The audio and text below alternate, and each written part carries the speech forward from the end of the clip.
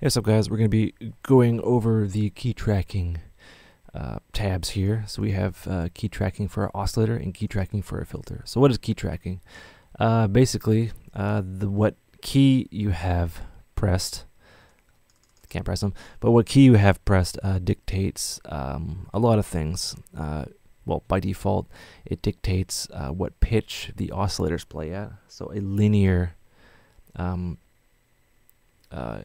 key key tracking for oscill for our oscillator controls the pitch. So, right, what we can do is if we basically just turn key tracking off, no matter what key we press, it's a you know a standard key.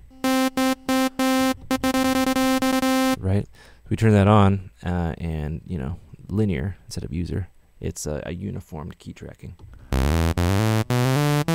right? So that's pretty cool. Uh, why would you want to do whatever? So say if you have uh, something that's really additive, Flinders. The heck is that? So I want that up. That's a terrible example. Okay, we want that. I want that uh, playing above this but I want it at you know as an as an upper harmonic. I don't want any key tracking going on. So what I'll do is I'll go oscillator two and I'll just turn the key tracking off, and it'll always play at that. So I'll just adjust the pitch. So it'll be mixed in with this.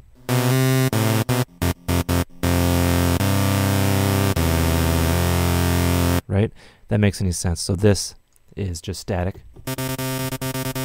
as, you know, a a uh, an oscillator to build upper harmonics or harmonics in general.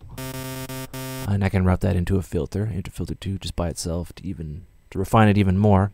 But then our oscillator 1 is still it's still, you know, key tracked pitch wise like it's supposed to be. So we mix them together. I might want to do that.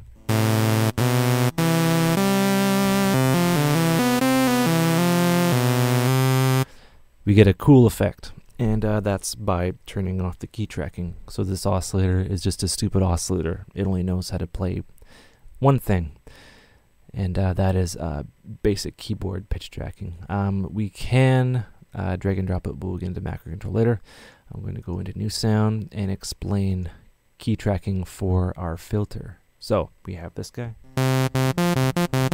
We'll let that go into filter one. And I'll have low pass. So with key tracking off um, as we play the filter does not open as we go up. Because the the the spectrum changes it goes up as we go up in pitch. So even more is uh, cut off so I'll just go up in increments of octaves.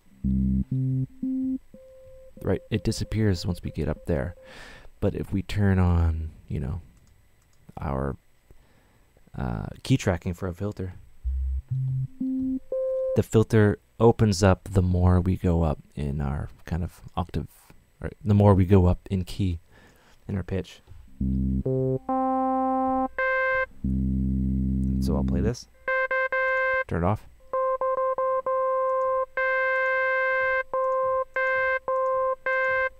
Right, and so we can uh, we can adjust that curve. So say if I want if I want all this just to be down and dirty, but then you know, if I wanted to have that, you know, really high up or, you know, something, who knows.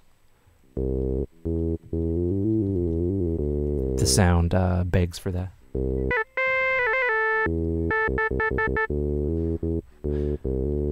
So if I if I had this like this, you know, and then got that stuff going on for us, and I just wanted to split this right? This is really low. You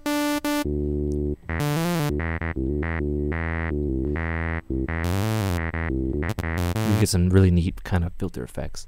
It's just uh, another way.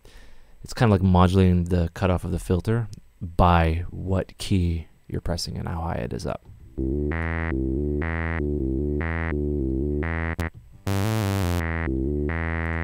That's a little too much, so we'll draw that in.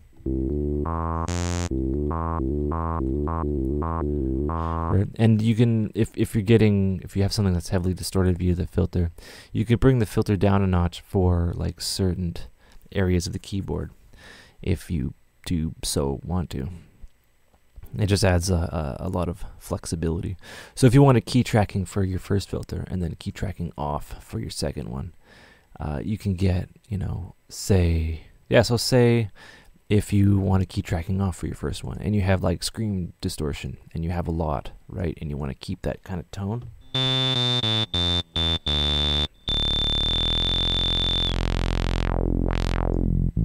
You don't want the filter to open. Yeah, but then you want your filter too, so we'll set this in serial. Set the output to filter 1, and then we'll go uh, double notch.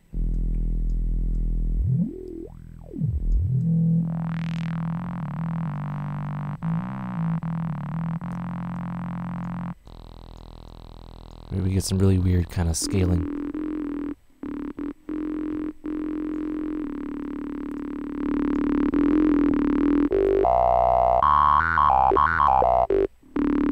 And like weird kind of filter effects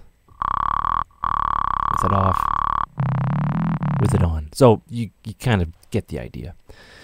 And that is uh, key tracking for oscillator and key tracking for filter. And yes, I do I do know my lefts and my rights. I just get confused. All right, uh, take care. We'll be back.